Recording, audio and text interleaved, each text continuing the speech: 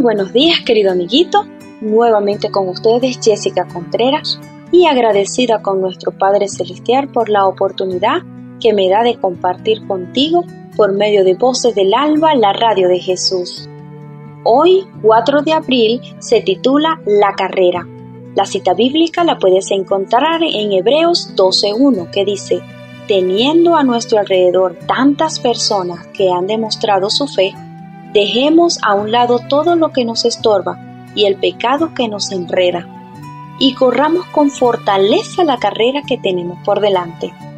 Ayer estuvimos conversando un poco acerca del jovencito llamado Jim.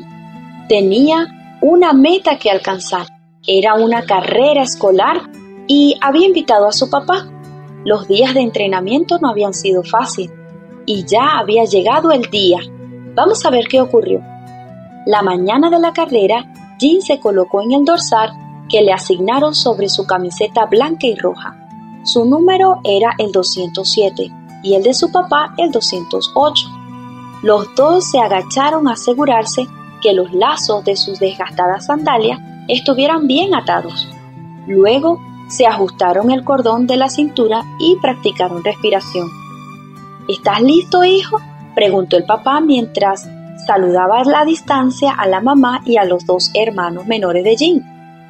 Jim también los saludó. Entre quienes los saludaban también estaban los mejores amigos de Jim, Tom y Bill, y le hicieron un gesto levantando sus pulgares.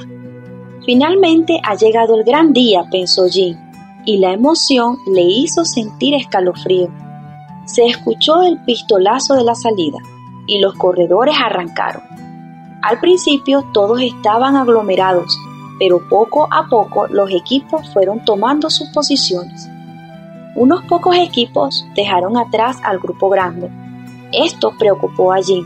Sin embargo, su papá le había dicho que podía ocurrir que algunos corredores menos experimentados tomaran la delantera y gastaran toda su energía al principio, sin dejar nada para el final.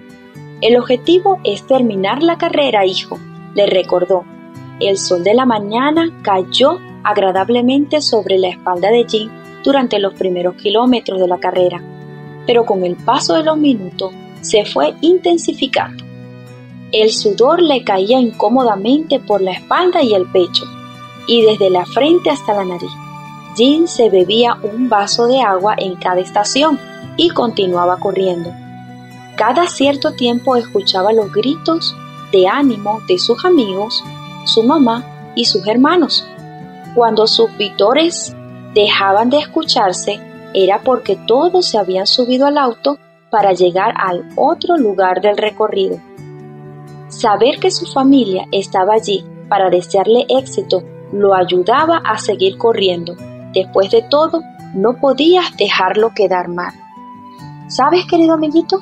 Nosotros también tenemos a alguien muy especial que nos está dando ánimos y nos fortalece cada día. Sí, es nuestro Padre Celestial. Recuerda lo que dice el versículo de memoria. Corramos con fortaleza la carrera que tenemos por delante, porque tenemos a nuestro lado nada más y nada menos que al Padre de todos los padres, al dueño del mundo y al dueño de nuestro ser. Acompáñame a orar. Cariñoso Jesús que estás en el cielo, gracias por tu inmenso amor. Gracias porque tú nos das fortaleza todos los días. Ayúdanos, Señor, a ganar esta carrera como es la carrera de la vida cristiana. Ayúdanos y danos fuerza, Señor. Solo eso te pido en Jesús. Amén. Bien, amiguito, antes de despedirme te recuerdo que si deseas dejar algún mensaje, deseas compartir un texto, deseas o compartir alguna inquietud, no dudes en escribir por medio de Voces del Alba, J E S S I C A arroba vocesdelalba.com. Que el Señor te bendiga y feliz día.